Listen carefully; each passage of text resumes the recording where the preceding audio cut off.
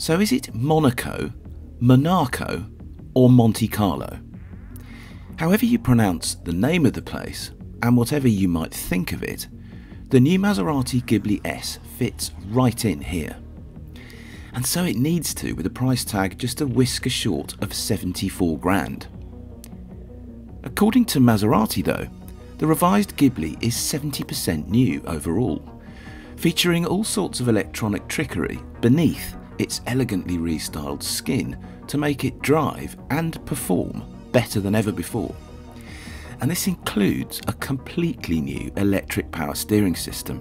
Mate this little lot to a more potent 424 bhp version of Maserati's twin-turbo V6 and a 177 mile an hour top speed. And well, the car can't help justify its Monaco-like price, say Maserati's perfectly dressed sales and marketing chiefs. Question is, are they telling the truth? Even just the name Maserati Ghibli has an awful lot going for it before you so much as mention anything about what the car's actually like to drive.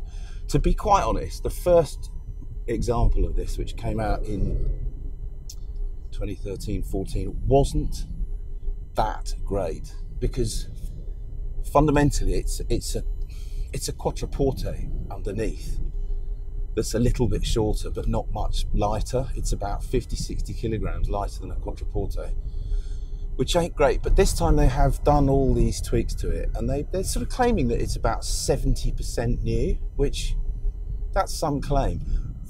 For sure, it looks better. Um, and I love the way that they've split the brand slightly between between the two Grands, Grand Sport and uh, Gran Lusso. That that that kind of works philosophically, I think.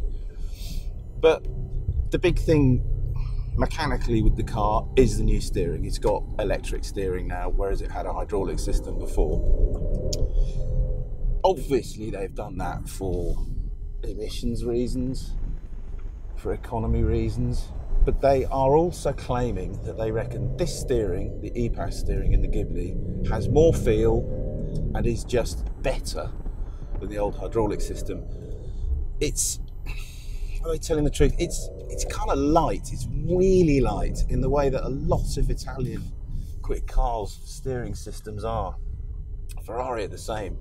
You know, it's kind of finger light like that, but it's actually pretty accurate, and you, you do have faith in where the front end is on this car. So yeah, I believe them. I think it probably does steer better than the old Ghibli. This one's the S, which has got as much poke as you can get in a Ghibli. 424 bhp. It doesn't feel slow either. Okay, the the problem with it is that it weighs over 1800 kilograms. So even if you got 420 odd horsepower, 580 newton meters of torque, which is you know pretty decent from a three litre twin turbo V6, the performance is is good with a capital G, but it's not great. It's you know it's quick, but it's not shatteringly rapid. I mean that's absolutely everything in second and third gear, and we're going downhill. And okay, going towards the horizon pretty briskly, but it doesn't ever kind of remove your hair with its pure pace. Sounds quite good though. Gearbox is an 8 speed ZF with paddles, press the manual button and it becomes fully manual, even to the point where you can run it into the rev limiter. And it's pretty good. I mean, it's not as kind of snappy as a proper dual clutch, but it ain't bad. In fact, in many ways, it's very good, especially when you stick it in auto. On the move, the Ghibli S is impressive rather than mind blowing, but it does feature a number of new electronic safety features that have helped it gain a full 5 star NCAP rating recently.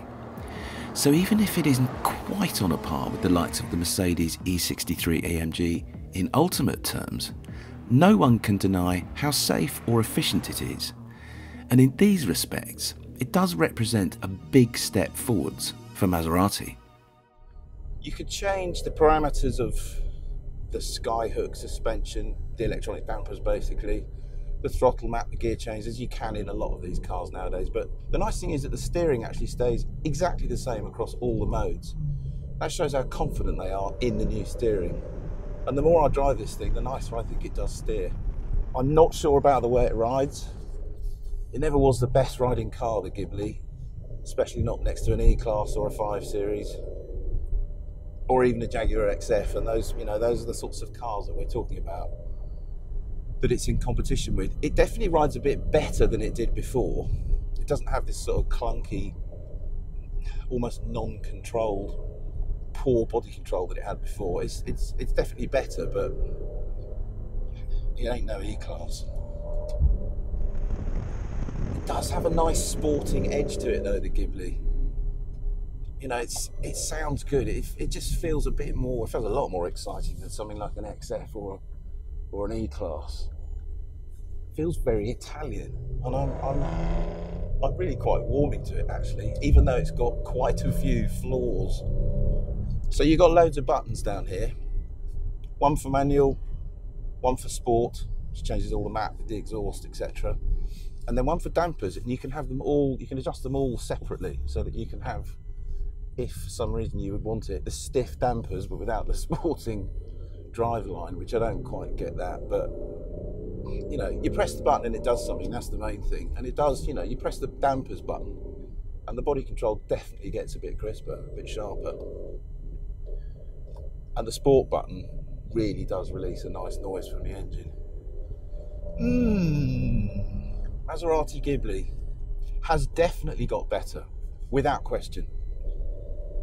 Whether it's right up there with something like an E63, I don't know. Maybe that's unfair to be comparing it with something like that. But you know, this thing costs a very thick end of eighty thousand pounds, so it is an E63 rival, and I'm afraid when you start comparing it with cars like that, the logic starts to go slightly out the window.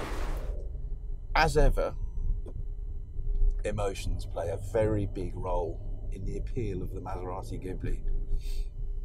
I think in areas it's not very good, but in a lot of ways it's rather fabulous. And I'm really glad that they still make cars like this that aren't absolutely to the regular template of the stuff that gets churned out by BMW and Mercedes and Jaguar, etc. This car is different, and you have to love it for that.